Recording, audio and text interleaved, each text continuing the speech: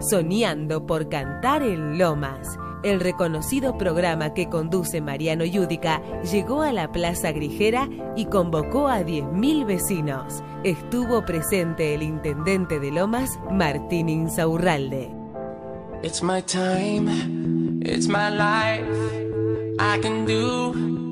What I like for the price of a smile. I got a ticket to ride, so I keep living, cause it feels right, and it's so nice, and I do it all again this time.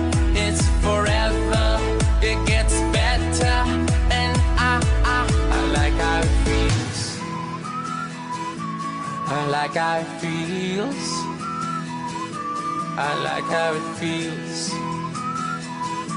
I like how it feels. I like how it feels. I like how it Intendente, una noche inolvidable aquí en Lamas de Zamora con todo el Dale.